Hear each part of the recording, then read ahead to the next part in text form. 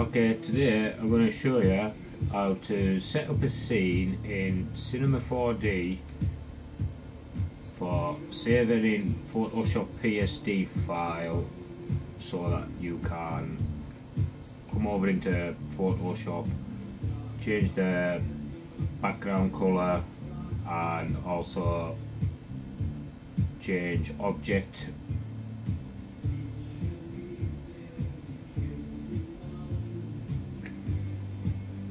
also how to change object color colors as well. Okay so you see changing that quite all in Photoshop without having to go back into Cinema 4D okay so I'll just close that up. Go back into Cinema 4D right so here we are in Cinema 4D we've got our scene set up okay we basically it's just a selection ex extrude NURBS with uh, caps on and then spline text object underneath them splining everything controlled in here. Okay I'll just lift this up a little bit. Okay so first off what we need to do is add some composition tags. Yeah so right click and then select composition. Same again for PSD right click down composition. Same again for chain over. Composition okay? Go back up what we need to do then is an enable buffer object okay? For Photoshop for the out save to PSD enable rename it to number two because it's another object so obviously it needs to have a different uh, name assigned to it for cinema cinema 4D to be able to work its magic. Okay buffer number three. Okay so that's us all set. And then we go into the palette. Oh damn I didn't think but I should have done that. Okay I just fetch this over here. Okay in save. We don't need to fill anything in here. Okay but we do need to select alpha channel make sure we're alpha channels. I'll just deselect that and just deselect that. Okay so we don't need anything in here okay? Because we're not going to save it as anything out of here alright? Because it doesn't work. Transparency we cannot change the background. Only if you change it as PNG but then you don't get control over the objects which defeats the whole object of this tutorial okay so we just leave that blank. What we do is we select multipass. Okay and then we click save. Okay then we browse. Where we're going to save it save it where we're going to save. Okay I'll just cancel out these because I've already pre-done it. Okay ensure that multi-layer file is selected and also ensure straight alpha isn't. Okay and then what you need to do is right click right click on the multipass and you need to add each one of these elements. Okay so RGB image then the three object buffers ambient occlusion diffuse specular shadow and reflection. We have to add those because we have them added here in our materials manager. Okay as materials. Yeah so that's them. And one last thing before we go is we need to make sure that each one of these object buffers starting at the top corresponds this number here corresponds with the number here. Okay so that's object buffer 1 which is the top one for Photoshop. Object buffer 2 number 2 okay for this lesson okay number 2 there. Object buffer number three. Yeah. And then number three I've pre done that so it, it would be number one. Um, so you just have to push up and number three either with the arrows or just put your arrow in. Number three click enter. There you go. Yeah. So that's our multi-pass setup yeah. We've set it where we want to save it. Okay we've added the elements that we need. Okay I think just check out anti-aliasing okay? On the best yeah and still image okay?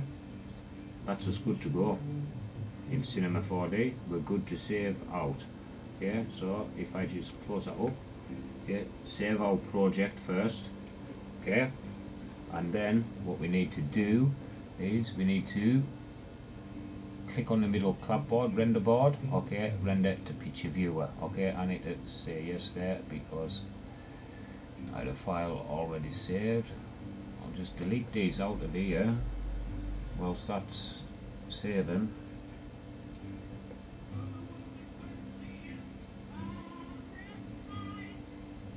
Okay, now if we click on our layers, okay, I'll just just bring that down a little. Okay, here we go. Here we go. There's all our elements that we selected. Our reflection, ambient, shadow, specular, diffuse, background, alpha, object 1, object 2, object buffer 3. Yeah. Those single pass, multi pass. Yeah. Everything that we need. Alright, that's sorted, so I'll just close out of that and I'll just quickly quickly, quickly, quickly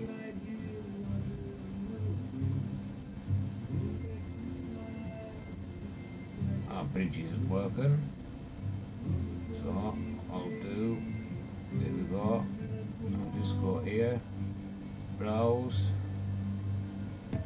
To where my multi-pass file is which is this one here. Yeah we'll open that up in Photoshop just give Photoshop a minute to just do its magic. You might not get your setup but I haven't got any colour profiles embedded. Yeah. And here we go. Here we go. Here's all our layers. Reflection ambient. See it's got its own masking on. Effects. Yeah going to our channel. Is our RGB image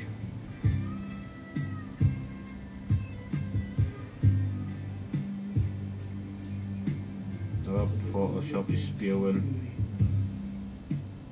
Photoshop spewing I'll just give it a minute to sort itself out. Sometimes it does this for some reason I don't know why. Spews for a minute there we go there's our alpha. Click that on there we go. I want to change my colour just go in here. Okay changes the colour for us anything you want. So if you work on a project you could put your RGB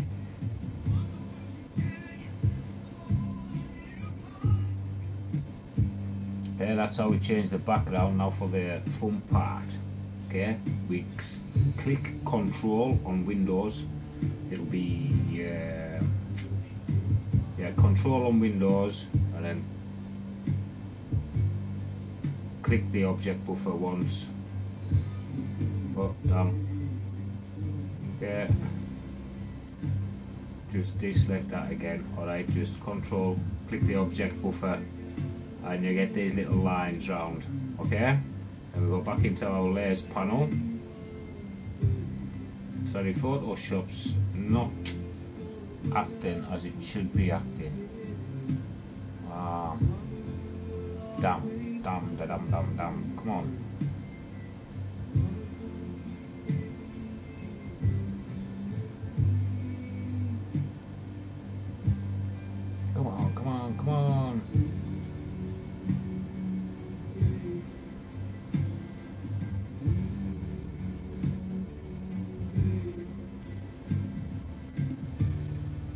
Go into layers, and then what we do is add a and a saturation layer, and then what we do is you scrub, and how cool is that? We're actually changing the colour of it. Okay, and then we just click back on channel, and come down, control object buffer 2 back into layers. New Hue saturation layer. Yeah. Slider there we go moving out there we go moving the colour of it. So then get back into channel.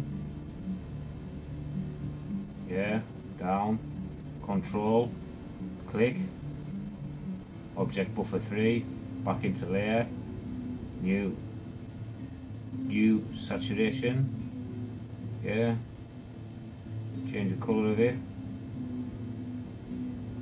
Do whatever you want, okay, there you go, back into channel, okay, enable alpha, okay, just close it down,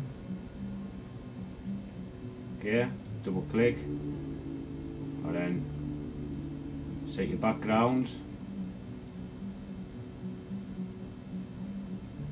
whatever you want, okay, let's put a nice shade of green, nice shade of green, I like green, green's a nice colour, peaceful. Very peaceful colour. Okay, there we go. Boom, boom, boom, boom. There we go. Okay, and that's how we set up our scene in Cinema 4D. Okay. Set up our multi-saving, just save it. Remember alpha channel, and then we have to we have to enable multi-pass and fill the details in. Then we right clicked, added all these elements here to it. Okay. Then we rendered it to picture viewer and then we opened it up in Photoshop and we changed everything as we wanted it. Okay, I hope this has helped you. Uh, done my head in this, working this out. Uh, but this is much much more fun than saving it as a PNG file and altering it in photo in fireworks or Photoshop or whatever.